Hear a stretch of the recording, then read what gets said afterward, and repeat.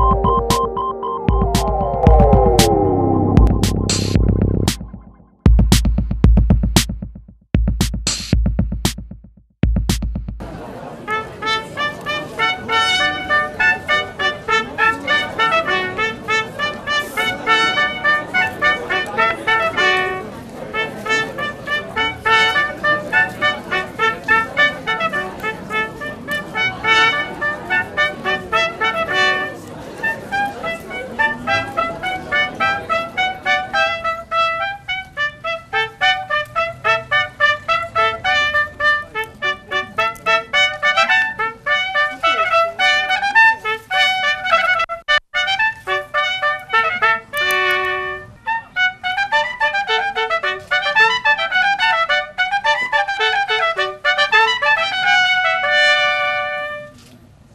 Vielen Dank.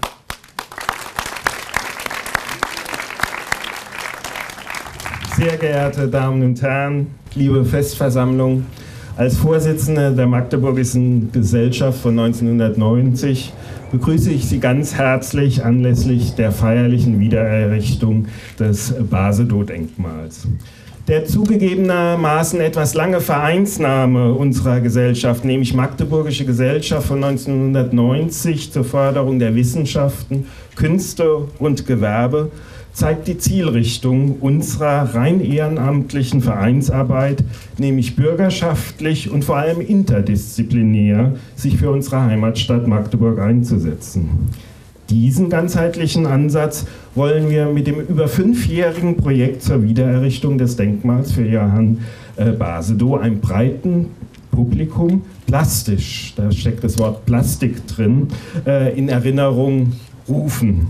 Und zwar in die Erinnerungskultur rufen.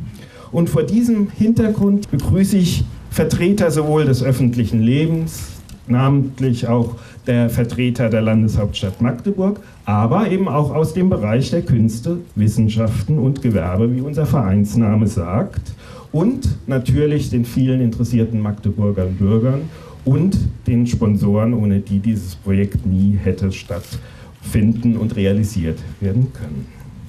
Wir freuen uns, dass soeben die Festveranstaltung Marie-Therese und Marie Markus Finkler mit Trompetenmusik aus Basedows Zeit eröffnet haben. Aber wir wollen mit diesen beiden Musikern, nämlich der ersten und zweiten Trompete der Philharmonie Magdeburg, zeigen, dass wir als Magdeburgische Gesellschaft eben auch musikalische Spitzen und Höchstleistungen fördern wollen. Exzellenzförderung war auch Basedows Anliegen. Nur wenige wissen, dass er, bevor er nach Magdeburg gekommen ist, den gesamten dänischen Adel in Sorö unterrichtet hat, ja, so Art wie in einer Art Salem oder äh, Eton. Also auch die Exzellenzförderung war ihm wichtig gewesen. Ohne die Unterstützung der Stadt äh, wäre auch dieses Projekt nicht äh, zu stemmen gewesen. Die Unterstützung des Kulturamtes, des Stadtplanungsamtes, namentlich Frau Radeke, aber auch Frau Andruschek, die Leiterin des Grünflächenamtes, Ganz herzlich begrüßen möchte ich den, ja den Basedow-Kenner Deutschlands, Professor Dr. Overhoff aus der Universität Münster. Er hat nicht nur als einziger in Deutschland über Basedow habilitiert, sondern er hat vor zehn Jahren den legendären Artikel geschrieben, hätten wir mehr auf Basedow gehört, dann hätten wir bei Pisa besser abgeschnitten. Genau dieser Satz, lieber Herr Professor Overhoff, ist unser zentrales Anliegen unseres Denkmalprojektes für Johann Basedow. Ein Denkmal hat eben nicht nur eine ästhetische Funktion, nämlich wir wollen als Magdeburgische Gesellschaft äh, natürlich auch die im Zweiten Weltkrieg zu 90 Prozent zerstörten Stadt wieder ihre Kulturgeber Güter, soweit sie noch vorhanden sind, zurückgeben. Ganz zu schweigen von den in kommunistischen Zeiten geschliffenen Kultur- und Kirchengütern, wie es ja auch hier teilweise der Fall war. Sie wissen, das Denkmal stand keine 60 Meter hier entfernt auf dem Kirchhof der Heiliggeistkirche, die 1956, ja, manche sagen abgetragen, man kann sagen, um die Sache beim Namen zu nennen, zerstört worden ist aus ideologischen Gründen.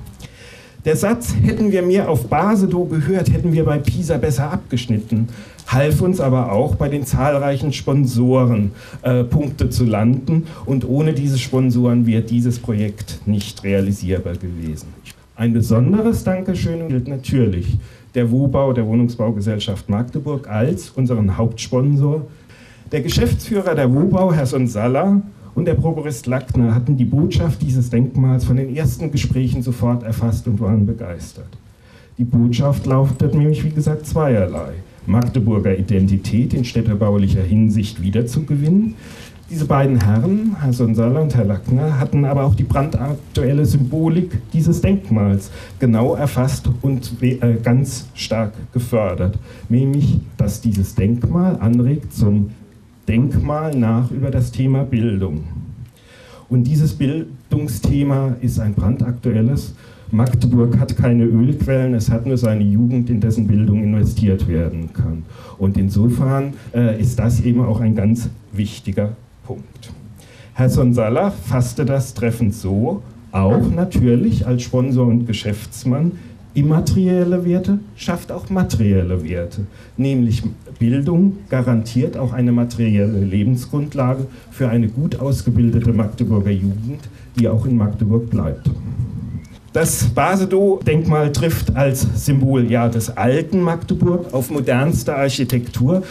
Die Fassade hat unlängst den Deutschen Architekturpreis äh, bekommen. Da sieht man auch, was man aus einer stalinistischen Platte alles machen kann. Äh, aber wie gesagt, es musste, um das Denkmal wiederherzustellen, handwerkliche und künstlerische Fachkenntnis notwendig sein. Und da danke ich der Künstlerin Martina Seffers, die das Porträt äh, gestaltet hat, als auch Vertretern der Firma Schuster, die in altbewährter handwerklicher, erstklassiger Handwerksarbeit dieses Denkmal wiederhergestellt haben hat. Das hätte man auch alles billiger machen können mit anderen Materialien. Firma Schuster sagt nein. Wir machen Qualität und kein Disneyland, keine Potemkinschen Dörfer. Das sind Originalmaterialien, aus denen das mit handwerklichem Können gefertigt wurde. Also.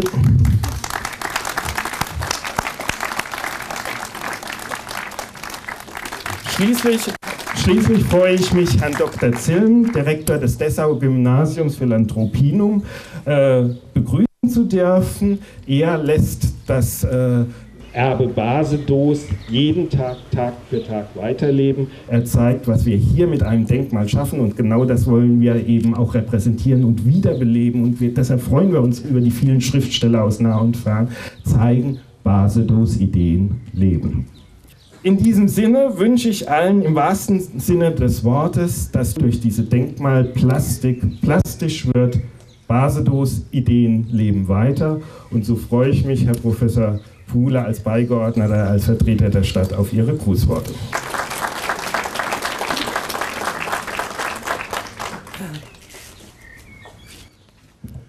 Der herausragenden Initiative der Magdeburgischen Gesellschaft von 1990 ist es zu verdanken, dass die für die heutige Wiederaufstellung erforderlichen finanziellen Mittel zusammengetragen werden konnten. Das Grabmal wurde 1956 zusammen mit der Heiliggeistkirche fast vollständig zerstört und kehrt nun in das Blickfeld der Öffentlichkeit zurück, ähnlich wie es mit der Königin Luise der Fall gewesen ist. Der 1724 in Hamburg geborene und 1790 in Magdeburg verstorbene Basedow ist uns in erster Linie als bedeutender Theologe Pädagoge, Schriftsteller und Verfasser seines pädagogischen Elementarwerks sowie Gründer des Philanthropinums in Dessau bekannt. Auch wenn Basedow keine vergleichbare Einrichtung in Magdeburg, schade, gründete, äh, so verbrachte er doch die letzten fünf Lebensjahre zeitweilig, zumindest in der Elbestadt, da man hier seinen Reformideen, seinen modernen Ideen besonders aufgeschlossen gegenüber stand. Nach seinem Tod Relativ schnell, schon nach seinem Tod, sammelte die Magdeburger Literarische Gesellschaft, der die Bedeutung des Pädagogen bewusst war, zwischen 1790 und 1797 Spenden, um dieses Denkmal zu errichten. Also auch damals schon, vor über 200 Jahren, äh, war es also bürgerschaftliches Engagement, was dieses Denkmal äh, ermöglicht hat. Mit Unterstützung aus ganz Deutschland konnte es 1797 auf dem Heiligen Geistfriedhof aufgestellt werden. Insgesamt dreimal, 1797, 1814, 1894, hatten Magdeburger Bürger das immer wieder durch Kriegszerstörung gefährdete Denkmal Basedos aufgebaut. Auch das Schulwesen unserer Partnerstadt Braunschweig wurde im 18. Jahrhundert nachhaltig von der pädagogischen Reformbewegung des Philanthropisten äh, der Philanthropisten beeinflusst. Im Jahr 1786 berief der Welfenherzog Karl Wilhelm Ferdinand die drei führenden philanthropistischen Pädagogen Johann, Johann Heinrich Kampe, Johann Stuwe und Ernst Christian Trapp, um das dortige Schulwesen zu reformieren. Kampe und Trapp waren beide am 1774 von Basedow gegründeten Philanthropinum in Dessau tätig gewesen und setzten gemeinsam mit Stuwe ihre Arbeit im basedowschen Geist und Sinne in Braunschweig fort. Im Herzogtum Braunschweig bemühte sich der aufgeklärte Herzog somit nicht nur um den wirtschaftlichen Wohlstand und das Gedeihen seines Landes, er förderte vor allem die Bildung der Jugend im Sinne Basedows. Von 1782 bis 1790 stand der spätere preußische Staatskanzler und Reformer Karl August von Hardenberg als Großvogt, Präsident der Klosterratsstube und Mitglied des Geheimen Ratskollegiums in braunschweigischen Diensten. Als Möglichkeit zur Verbesserung des Schulwesens sah auch er, der Präsident des Schuldirektoriums und ab 1785 auch Direktor des Collegium Carolinum, des späteren der heutigen Technischen Universität Braunschweig, die Anwendung der Grundsätze des Philanthropismus an. Ich freue mich sehr, dass zum Gedenken an Basedow und zur Würdigung seiner Leistungen als Pädagoge ein Ort in Magdeburg gefunden werden konnte. Das ist immer eine der schwierigen Fragen neben der Geldbeschaffung, neben der künstlerischen und handwerklichen Umsetzung. Wo stellt man ein solches Denkmal hin, wenn es am originalen Standort eben nicht mehr geht? Und da äh, danke ich auch wirklich der WOBA ganz herzlich, dass das hier möglich geworden ist und natürlich auch meinem Kollegen Herrn Dr. Scheidemann und dem Baudezernat.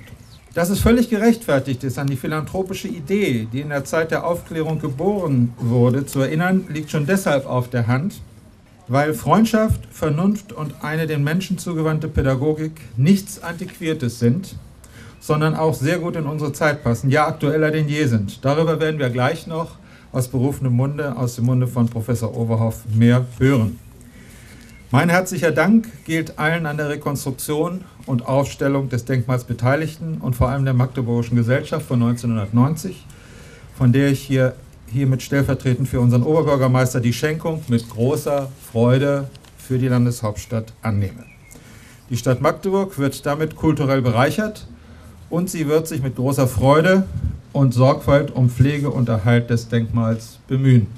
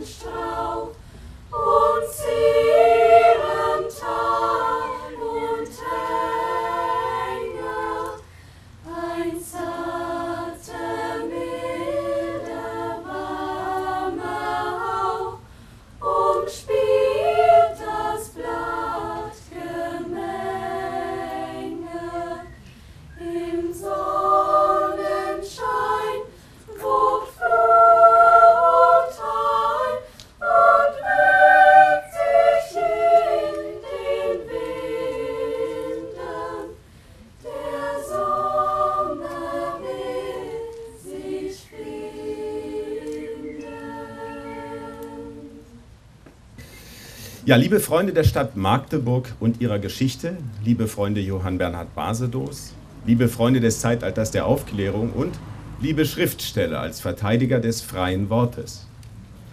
Wir kommen hier heute zusammen, um ein teils renoviertes, teils auch getreu rekonstruiertes Denkmal in seiner, wie Sie gleich sehen werden, strahlend schön neuen Gestalt einzuweihen und zu bewundern. Es ist ein Denkmal, das nur deshalb finanziert werden konnte, wir haben das gehört, weil sich in Magdeburg genügend engagierte Bürger dazu bereit fanden, die Idee einer Wiederherstellung dieses Monumentes des Andenkens an Johann Bernhard Basedow Wirklichkeit werden zu lassen.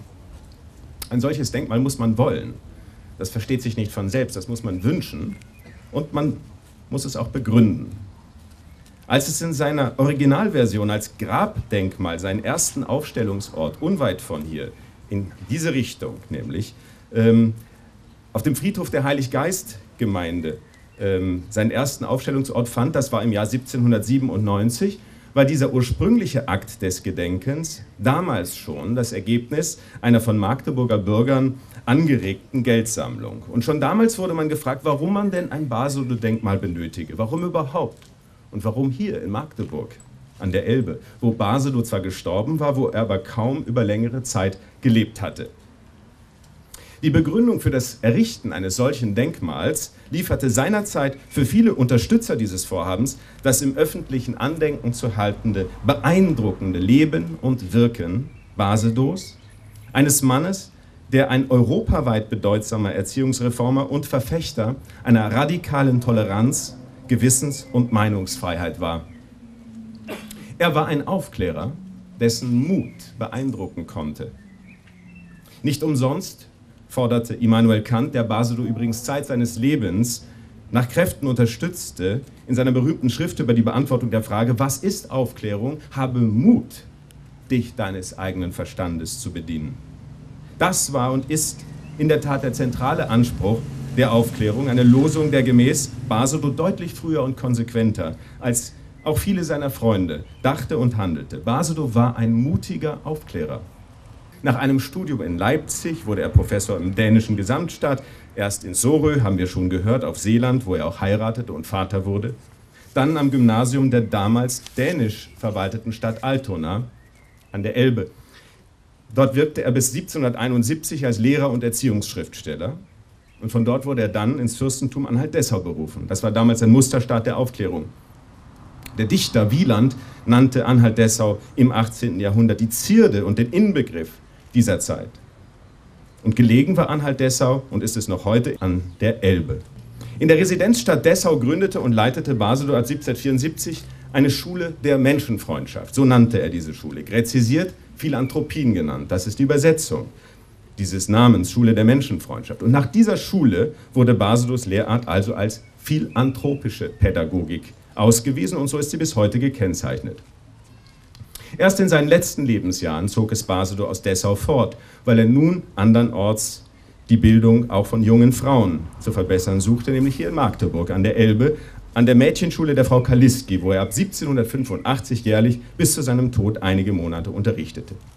Und Sie haben es natürlich schon gemerkt, Basedow, der sich in einem selbstgewählten Pseudonym als Autor auch gerne Bernhard von Nordelbien nannte, bewegte sich von der Geburt bis an den Tod, von Lebensort zu jeweils neuem Lebensort, entlang der Ufer der Elbe.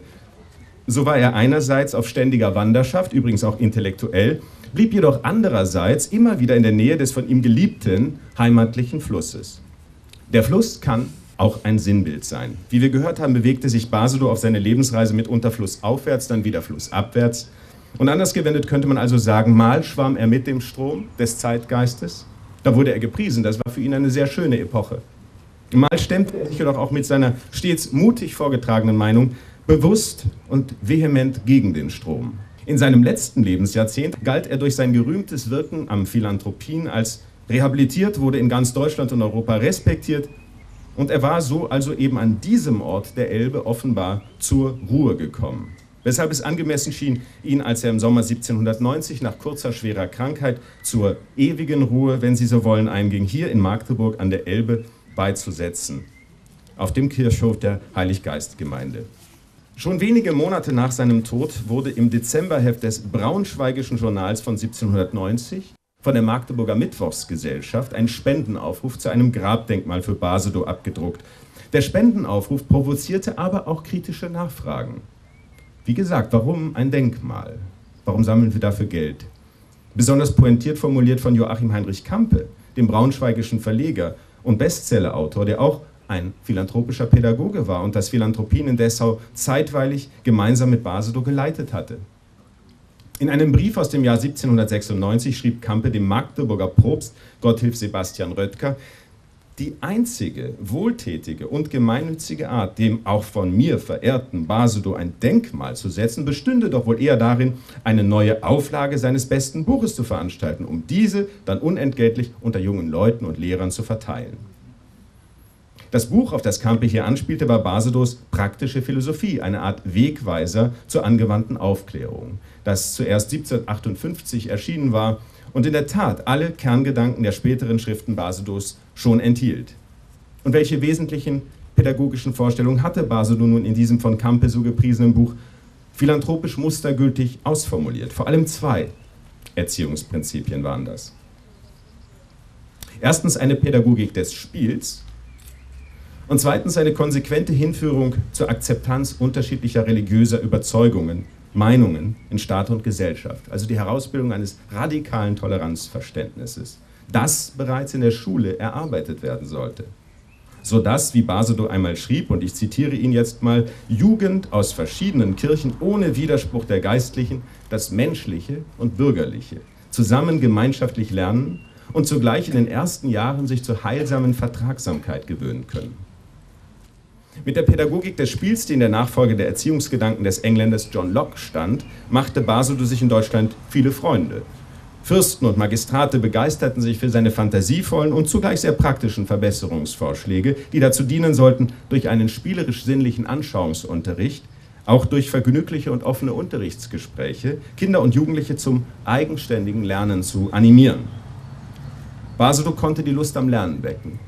Er konnte das Glück, lernen zu dürfen, erfahrbar machen. Auch durch eigens für Kinder verfasste Kurzgeschichten und Reiseberichte. Kampe und Rocho taten als Autoren für Kinder und Jugendliche übrigens ein Gleiches.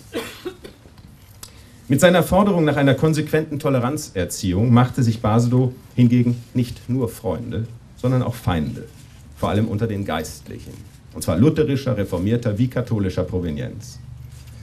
Als er für einen überkonfessionellen Religionsunterricht an öffentlichen Schulen warb und für Juden und Muslime und Buddhisten gleiche Bürgerrechte forderte, und das tat er, wurde er in Altona und Hamburg vom Abendmahl ausgeschlossen, wurde sein Haus von einem von Pfarrern aufgewiegelten Mob mit Steinen beworfen, er wurde also sozial geächtet. Und dass er in dieser Zeit in Altona seine Stellung behalten durfte, verdankte er nur dem beherzten Schutz des liberalen dänischen Kultusministers Johann Hartwig Ernst von Bernsdorf. Doch nahm seine Seele wegen der, wie Basedow klagte, von Seiten der Intoleranz ausgehenden Widerwärtigkeiten nachhaltig Schaden. Und es muss für ihn auch bedrückend gewesen sein, dass die von uns heute so verehrten Dichter und Philosophen Klopstock, Matthias Claudius, Lessing und Hermann Samuel Ramarus, mit denen er in Altona und Hamburg zwar verkehrte und mit denen er befreundet war, ihm im privaten Gespräch ihre Unterstützung zusicherten, und zwar unbedingt, aber öffentlich, nichts, aber auch gar nichts zu seiner Verteidigung sagen wollten.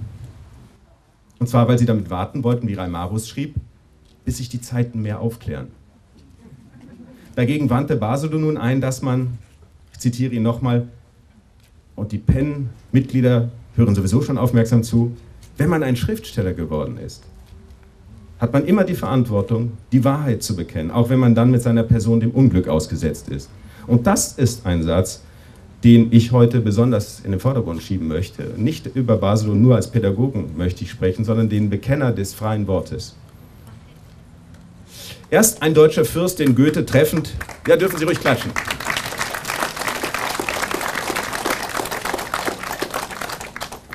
Ich finde, das wird wirklich vielfach übersehen. Das ist das, was ich mit dem mutigen Aufklärer meine. Erst ein deutscher Fürst, den Goethe treffend als jung, wohl und edeldenkend beschrieb, verschaffte Basedow bleibende Erleichterung und Anerkennung. Das war Franz von Anhalt-Dessau. Er war es, der den Altoner Lehrer nach Dessau holte, wo er dann jenen spielerischen, auf Toleranzerziehung setzenden Unterricht praktizierte, der ihn ab Mitte der 1770er Jahre, als sich die Zeiten dann nun in der Tat schon etwas mehr aufgeklärt hatten, im ganzen Reich und darüber hinaus bekannt machte.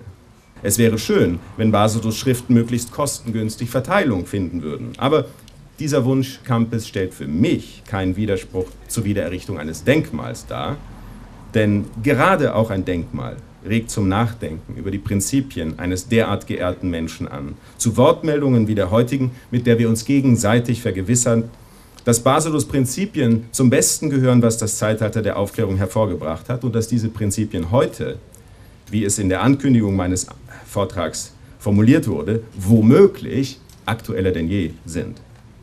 Und schließen möchte ich mit einem Wort von Basedow, was ich äh, bis heute faszinierend finde. Das schrieb er nämlich im Jahr 1766 in einer Schrift über die Toleranz und ihre Bedeutung. Da schrieb er also auf, äh, mit Blick auf die von ihm verkündete Toleranzerziehung, man erstaunt und wird noch lange erstaunen über diese Wahrheit. Ich danke Ihnen.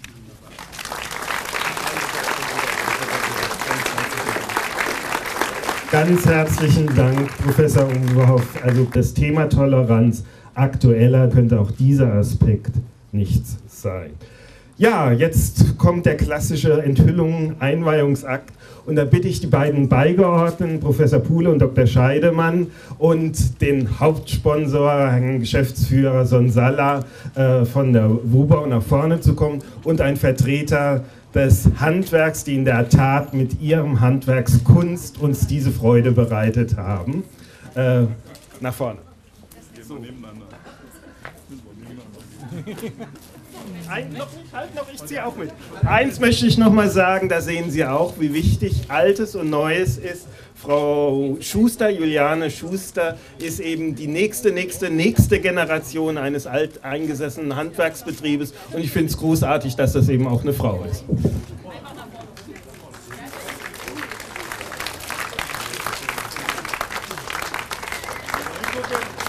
Stellen Sie sich bitte mal einmal alle schön ja. und runter.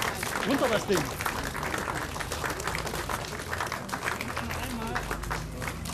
Herr Kluge, auch noch mal bitte hierher schauen.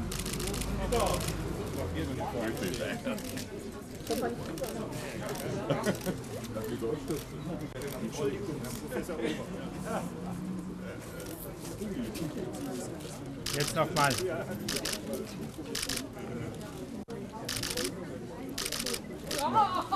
Also erst als die Magdeburgische Gesellschaft äh, sich Basedow zum Thema genommen hat, ja, dann habe ich mich äh, intensiver mit Basedow beschäftigt und heute ist natürlich ein wunderbarer Tag mit der Eröffnung des Denkmals. Hast ja schon so ein bisschen in Reden äh, angesprochen. Wir haben ja heute auch äh, Tag der Städtebauförderung. Äh, damit haben wir uns heute Morgen beschäftigt. Insofern ist das ein wunderbarer Abschluss auch des Tages. Äh, die Bedeutung der Elbe, sowohl für Basedow wie äh, für die Stadt, für die Stadtentwicklung. Das Band, was sich von Hamburg dann für Basedow äh, bis nach Magdeburg zieht, auch für uns, Leben mit und an der Elbe. Also ein wichtiges stadtgestalterisches Thema auch.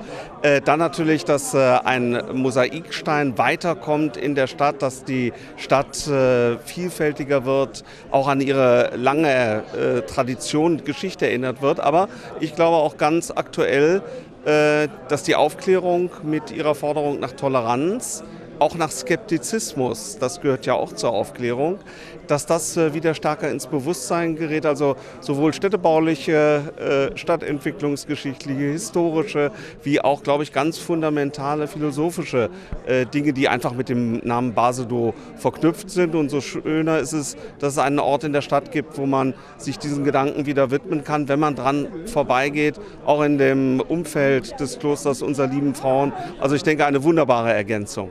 Zusammenleben und Gemeinwesen funktioniert immer nur im Miteinander. Und wenn man, äh, wie wir, ein großer Arbeitgeber und Auftraggeber hier sind, dann hat man auch eine Verantwortung für das, äh, darüber, dafür mal über den Tellerrand zu gucken. Und das, das machen wir generell und hier im Schatten unseres äh, restaurierten Hauses.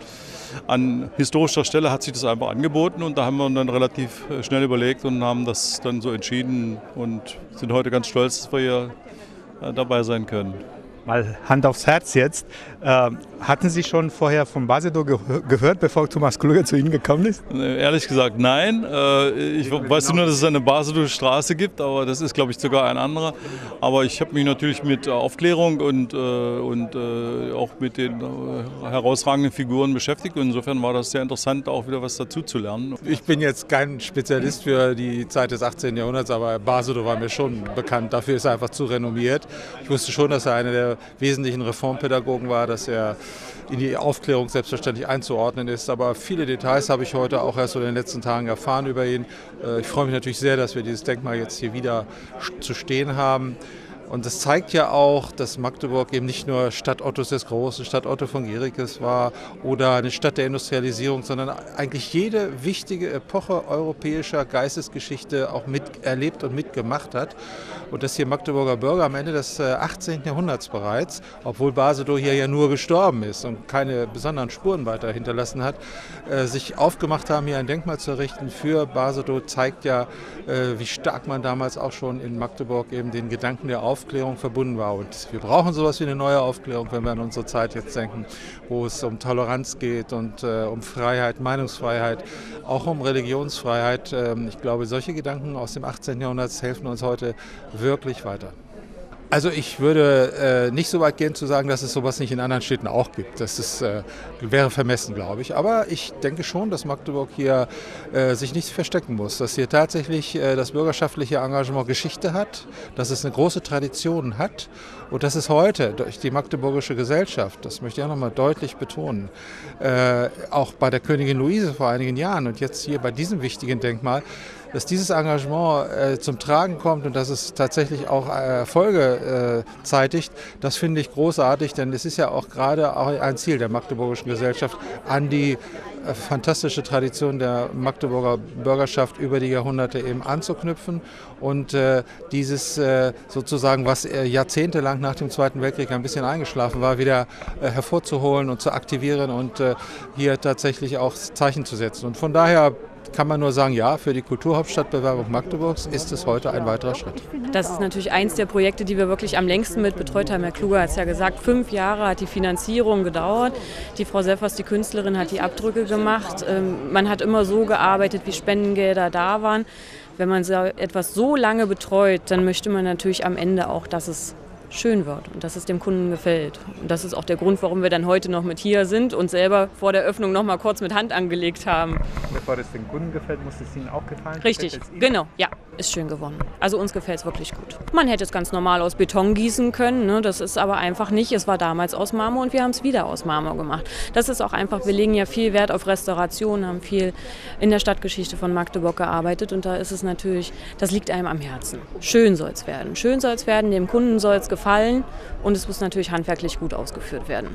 Ja, großartige Resonanz. Wie unser Vereinsname sagt, Magdeburgische Gesellschaft zur Förderung von Künste, Wissenschaften und Gewerbe. All das war heute hier gewesen. Vertreter der Künste, der Stadt, der Wissenschaften, der Gewerbe. Professor Overhoff aus Münster hat äh, einen wunderbaren Impulsvortrag gehalten. Alles war da gewesen und es ist kein Magdeburger Ereignis, es ist ein deutschlandweites Ereignis. Der Schriftstellerverband, äh, nämlich der Pen, das Penn-Zentrum, Zentrum äh, tagt in Magdeburg und hat das als Teil seines offiziellen Programmes heute die Basedow-Einweihung mit beehrt. Das ist herrlich, denn Basedow ist ja ein Mann der Bücher. Und wenn deutschlandweite Schriftsteller das auch ehren, da bin ich sehr zufrieden.